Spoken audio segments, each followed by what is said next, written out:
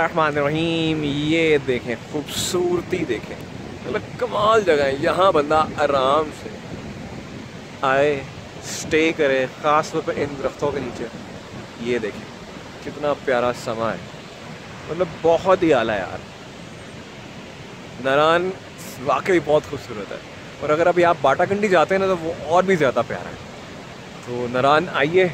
Road थोड़ी सी ज़रा अभी रेडी हो रही है। कगान के बाद जो नारान तक की रोड है ना, वो ज़रा डैम एक बन रहा है।